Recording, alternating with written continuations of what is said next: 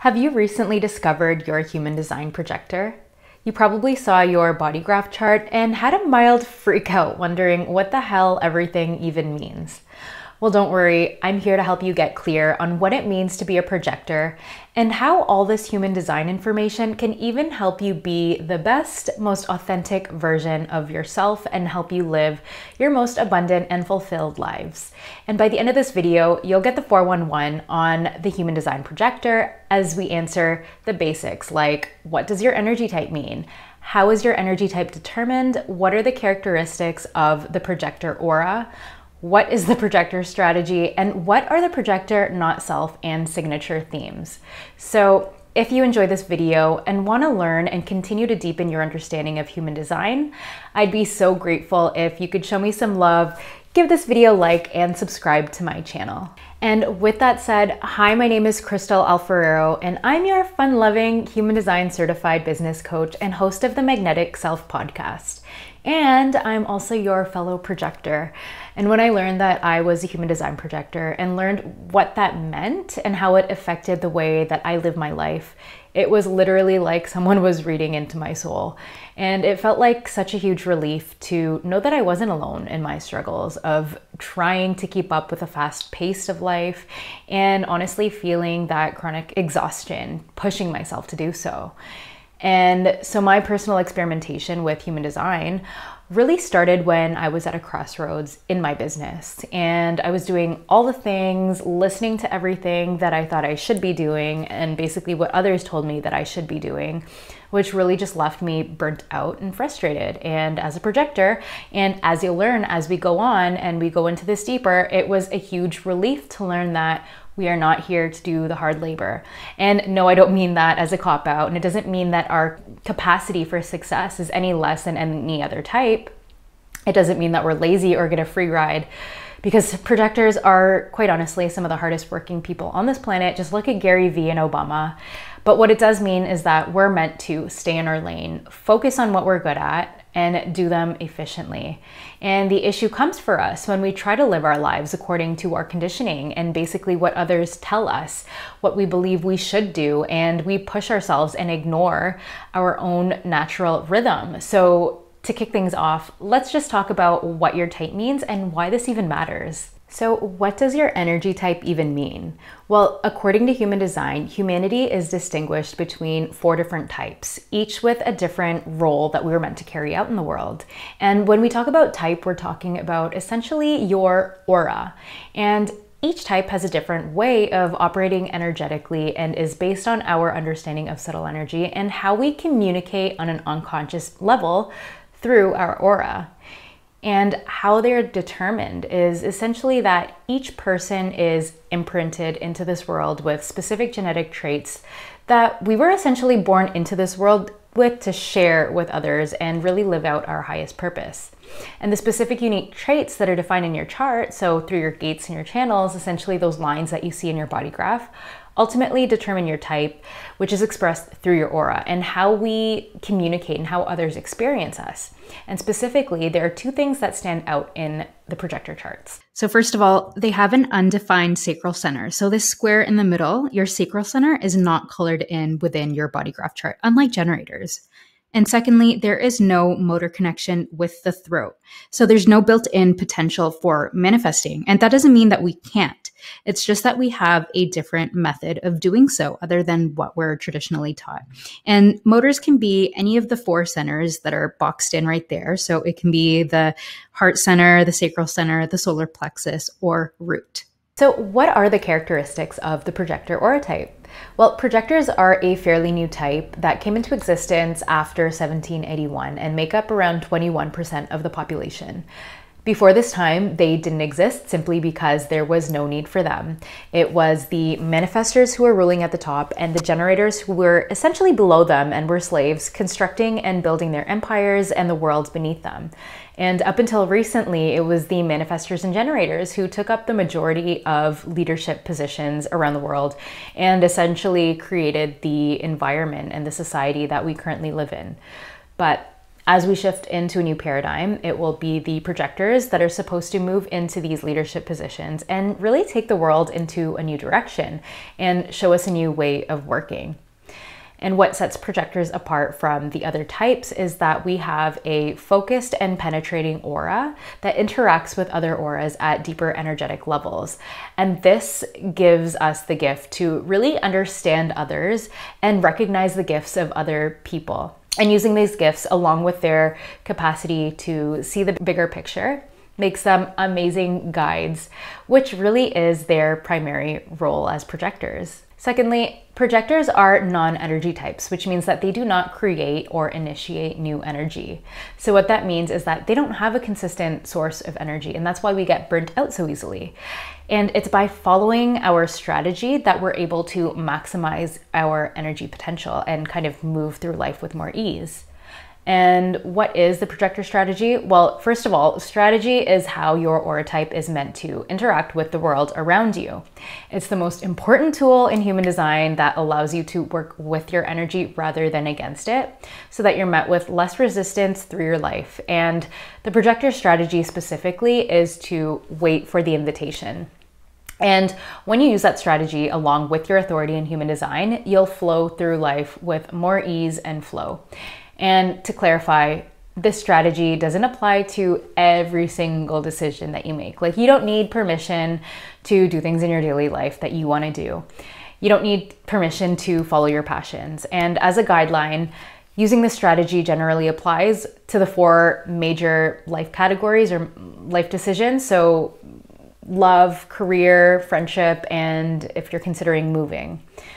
So instead of constant initiating and draining your energy, this really means nourishing yourself, following your bliss, mastering your craft so that you put yourself in a good position to be recognized and therefore be extended invites for different opportunities. So attracting those invites and those opportunities. And my rule of thumb is that I usually use a strategy where there is a large energetic exchange between two people that's required in order to fulfill or obtain something. For example, relationships and choosing your partner or choosing a place to live, and even client relationships where you are helping them through a transformation using your skills.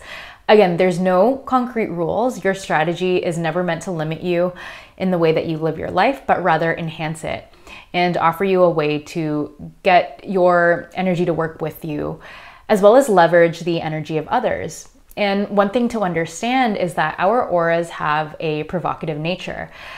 Projector auras provoke recognition and the invitation uh, by other people. And we were designed to be magnetic. So when you're truly living your design and your strategy, things are going to be attracted to you and your aura. I will have another in-depth video on the projector strategy and how to wait for the invitation. Um, but essentially living according to your correct strategy for your type allows you to make efficient use of your energy so that you find more balance and flow in your life. So to all my fellow projectors who have done the body graph chart already, um, definitely let me know in the comments what type of projector you are. I am a 1-3 splenic projector, if that rings a bell or if that makes sense to anyone here but yeah just definitely let me know splenic means that that's my authority and 1-3 that is essentially the role or the profile that i am here to essentially play in this world so what is the not self and signature theme? Well, each type has what's called the not self and signature themes, and you can think of these kind of as signposts or signals as to whether or not you're living out your true self. Your not self theme is what you'll experience when you make decisions through your conditioning and mental reasoning as opposed to your authority and strategy. And as a result, you'll face resistance. So for projectors, the not self theme is bitterness. And to give you you know, a more in-depth example, let's say you're a projector entrepreneur and you're out there and you're constantly initiating and out there searching and pitching to potential clients, just like the whole world kind of tells us we should do rather than using your strategy of waiting for the invite. What will happen is that you'll likely face resistance and rejection, and because you're not using your energetic resources efficiently and effectively as you could be, this is what causes exhaustion and bitterness, especially when you can't keep up with your generator counterparts and you just don't see the results that you want. And this is what I've actually experienced personally. So, fortunately, the signature theme for projectors is success. And this is what you'll experience as the norm in your life if you are living according to your strategy and authority. And you get here, of course, by using your strategy and waiting for the invitation for the big decisions in your life and for all those kind of transactions where there's an energetic exchange. So for an example, as an example, in my business, like I mentioned, I was typically just constantly out there initiating and engaging in activities that completely drained me, things that I was told I should be doing. So I decided to experiment with my human design strategy of waiting for the invitation. And I started with just by taking inventory of those activities that really drained me, specifically from a marketing perspective and trying to gain visibility. And what I was doing before was I was engaging in a lot of Instagram tactics that, quite frankly, did not feel aligned to me. Not that I was cold DMing or anything like that, but just that I didn't feel aligned to. So what I did was I stopped doing those things that, that just constantly drained me and that constant initiating. And I leaned into my strategy of waiting for the invitation. And it didn't mean that I didn't do anything. Um, it just meant that I aligned my visibility strategy to my human design strategy and my energy. And what I did was focus more on attraction marketing and focused on my learning and my content platforms and serving from a place of passion rather than pressuring myself to constantly engage. So, as a result, I ended up starting my podcast. And note that I didn't wait for an invite to start my podcast because that's something that I enjoyed and I felt called to do. And by doing this from a place of passion, I wasn't engaging in energy draining activities. And I was still in a good place to receive that invite. And by leaning into my passions and sharing my expertise, I put myself in a great position to be recognized by others who saw value in what I had to offer. And this isn't what I would necessarily recommend for everyone, but this is definitely a strategy that worked for me personally. And by doing this, I've received invites to speak on other podcasts, events, and even had discovery calls booked out of nowhere. And honestly, I had never felt this type of flow in my business before. So, again, it's not about not working, it's about engaging in things that don't drain your energy.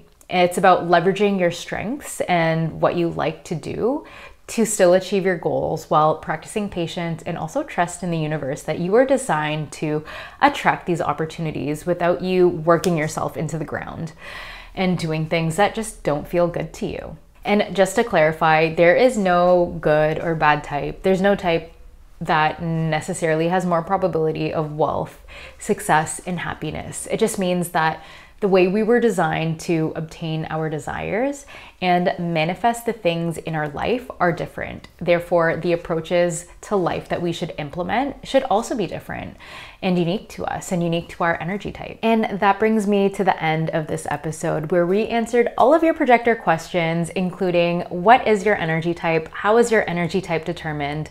What is the projector aura? What is the projector strategy, and what are the not self and signature themes. And I also wanted to add a disclaimer to take everything that I say and teach you with a grain of salt. You don't have to believe anything that I say, and you don't need to take the human design system as concrete rules because ultimately, human design is an experiment. So now it's your turn to experiment with your human design strategy and find out if it's something that works for you so that you can take control of how your life unfolds rather than remaining a byproduct of it. With that said, I hope you enjoyed this video and I would be so grateful if you could show me some love, hit that like button and subscribe to learning more about the wonderful human design system.